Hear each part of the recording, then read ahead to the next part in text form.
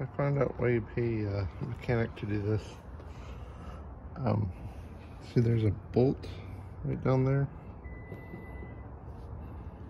that you have to use two extensions to get to. And then this one, you put your wrench on it. You can't untighten it.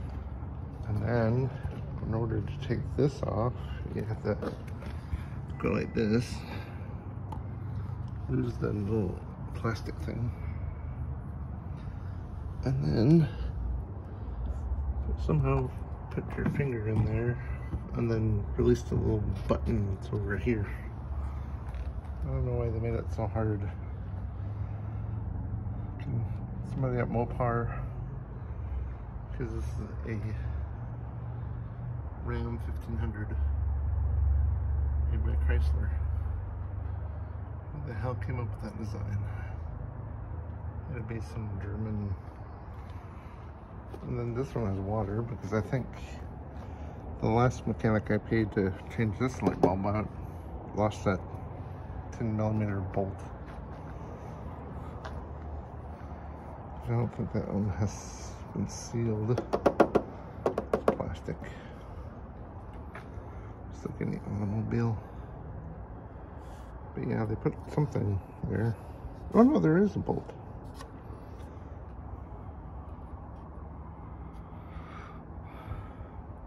So I'm going to be trying to take this to a shop to try to do this because I can't get my wrench around this bolt and I can't do it without taking off the let me try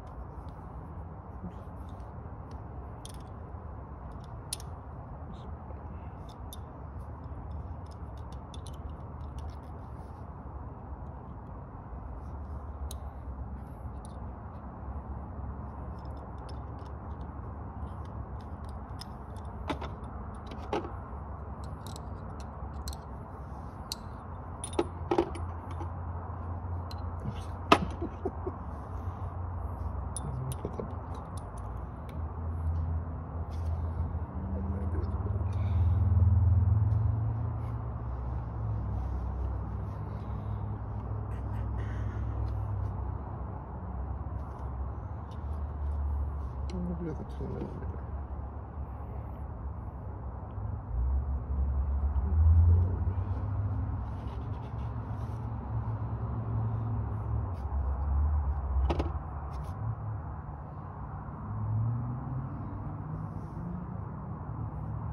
Uh,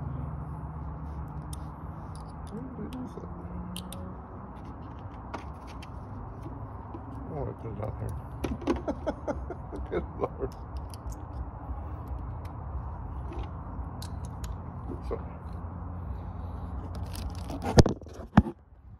here's the wrench.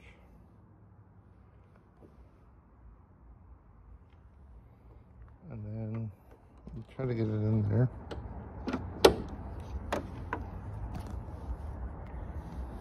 Ta-da. Try loosen it, but you can't loosen it.